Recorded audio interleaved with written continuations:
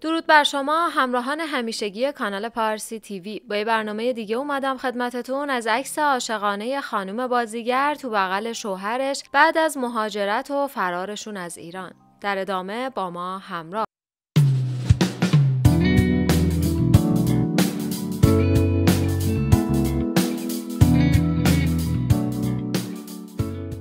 لطفا از پایین همین ویدیو عضو کانال ما بشید و با زدن زنگوله زودتر از ویدیوهای جدیدمون با خبر بشید.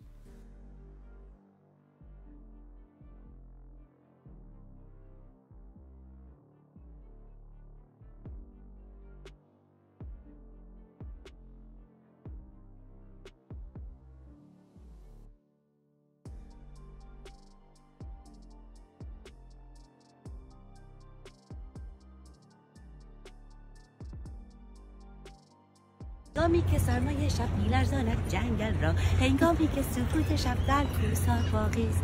ای شکارچی شکار کن؟ بدو اطراف و با شاید سکوت جنگل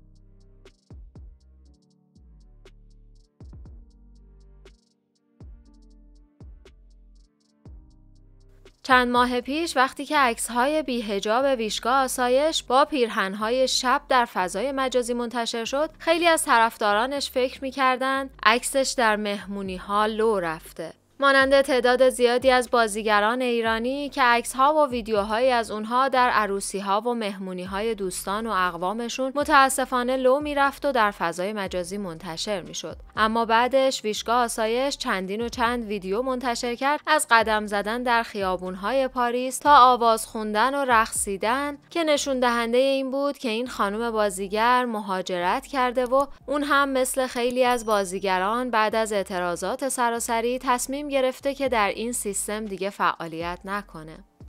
ویشگاه آسایش جزو اون دسته از بازیگران بدون حاشیه‌ای بود که با نگاهی به کارنامه هنریش هم متوجه میشیم که بسیار گزیده کار و محتاط کار کرده و توی هر کاری که بهش پیشنهاد دادن ایفای نقش نکرده. حالا اون عکس عاشقانه ای رو در کنار همسرش رضا قبادی منتشر کرده که در پاریس در اوج آرامش در کنار هم دارن زندگی می‌کنن. ویشگاه آسایش و همسرش رضا قبادی یک فرزند پسر به نام گیو هم دارند که متولد 1384 خود ویشگاه آسایش بازیگر سینما و تلویزیون متولد 16 آبان 1351 توی یه خانواده چهار نفری به دنیا اومده. اون یه خواهر بزرگتر به نام آویسا داره. ویشگاه آسایش خواهرزاده مازیار پرتو فیلمبردار و تهیه کننده سرشناس سینما و نوه شین پرتو نویسنده و شاعر ایرانیه. اون تحصیلات خودش رو در رشته طراحی صحنه در کشور انگلستان به پایان رسوند و علاوه بر بازیگری در زمینه طراحی لباس و صحنه هم فعالیت می‌کرد.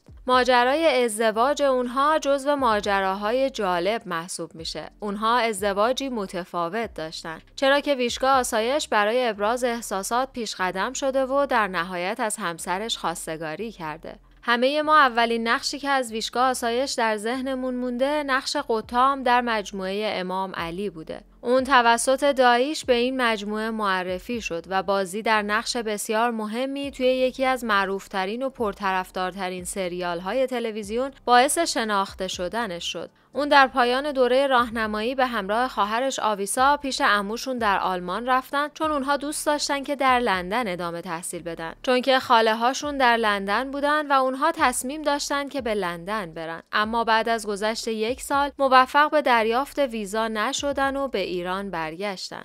ویشگاه آسایش زمانی که وارد مجموعه امام علی شد فقط 19 سالش بود. اون درباره اون روزها گفته یه روز توی خونه مشغول گپ زدن با دایم بودم که به من گفت ویشگا ما در حال انتخاب بازیگر برای سریال امام علی هستیم. دوست داری بازیگر بشی؟ من هم چون فکر کردم دایم داره با من شوخی می‌کنه و منو دست انداخته. گفتم بله که دوست دارم. خلاصه یه دفعی فرداش با من تماس گرفت و گفت برای تست گیریم بیا. من که اصلا تعجب کرده بودم رفتم تست دادم و کلی شوخی کردم و خندیدم اما انتخاب شدم. تا آخرین لحظه ای که جلوی دوربین قرار نگرفته بودم همش فکر می‌کردم که الان بهم به میگن داریم باهات شوخی می‌کنیم. اما در کمال تعجب کسی این حرف رو به من نزد و من در سال هفتاد در 19 سالگی یکی از مهمترین نقش های زندگی کاریم رو ایفا کردم.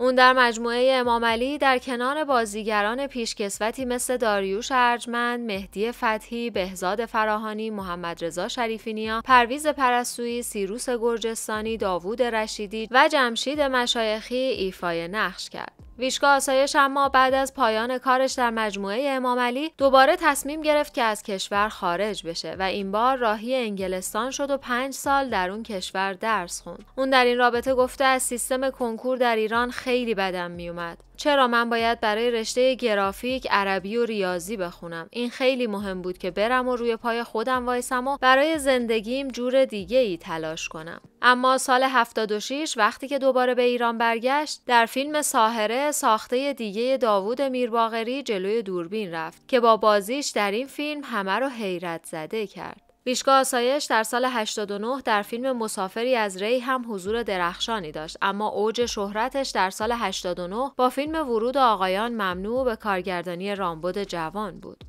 ویشگاه آسایش در مصاحبه های مختلفی در مورد اینکه ورزش پایه و اساس کارهای خانوادگیشونه گفته. ویشگاه به اسب سواری و شمشیرزنی تا حدودی مسلطه اما علاقه اصلیش دویدن و کوهنوردیه که اونها رو با جدیت دنبال می‌کنه. و این موضوع باعث شده تا قله دماوند رو هم فتح کنه و حتی بارها گفته به فکر فتح قله اورست هم هست. پیشگاه آسایش در مورد ازدواجش با رضا قبادی گفته توی رفت و آمدهایی که از انگلیس به ایران داشتم با رضا آشنا شدم. از همون ابتدا با خودم فکر می‌کردم این همون آدمیه که برای زندگی مشترک توی رویاهام می‌دیدم. اون جنتلمن بود قد بلند و جدی بود و برای اینکه رضا رو بیشتر بشناسم با هر بهونه ای که بود وقت بیشتری رو باهاش گذروندم و هر روز بیشتر بهش علاقمند می‌شدم. یه روز با خودم فکر کردم نباید بیشتر از این وقت رو هدر بدم و بهش ابراز علاقه علاقه کردم بهش گفتم دوستت دارم و می‌خوام که با هم ازدواج کنیم که خوشبختانه پیشنهاد من از طرف رضا با استقبال خوبی مواجه شد که بعد از اون قید زندگی در خارج از کشور رو زدم و برای همیشه به ایران اومدم تا با رضا زندگی کنیم و الان هم از زندگیمون بسیار راضی هستم بلافاصله بعد از ازدواج هم تصمیم گرفتیم بچه دار بشیم و در سال 84 پسرم گیو به دنیا اومد. جالبه که بدونید ویشگاه آسایش در سال 1400 برای بازی در فیلم گورکن به کارگردانی کازم مولایی جایزه ویژه هیئت داوران جشنواره فیلم‌های آسیایی لس آنجلس رو هم دریافت کرد. اون چند هفته قبلتر از اون جشنواره هم از جشنواره بین‌المللی فیلم ریوساید و جشنواره فیلم زمستان نیویورک برای همین فیلم جایزه بهترین بازیگر زن رو دریافت کرده بود. اون همچنین در اواخر سال 99 در سریال دراکولا به کارگردانی مهران مهران مدیری نقش آفرینی بسیار درخشانی داشت و نقش همسر مهران مدیری رو ایفا کرده بود که با استقبال بینظیری روبرو شد. آخرین سریالی هم که از اون در نمایش خانگی منتشر شد سریال روزی روزگاری مریخ بود که به کارگردانی پیمان قاسمخانی و محسن چگینی در سال 1401 به نمایش در اومد. اما خیلی ها اوج درخشش ویشگاه آسایش رو در سال 89 در فیلم سینمایی ورود آقایان ممنوع می‌دونند. مرسی که تا پایان این برنامه هم با ما همراه بودید و با like و کامنت هاتون از ما حمایت می‌کنید. راستی اگر هنوز عضو کانال ما نشدید از پایین همین ویدیو و با زدن دکمه subscribe و زنگوله با ما همراه باشید تا از ویدیوهای جدیدمون زودتر با خبر بشید.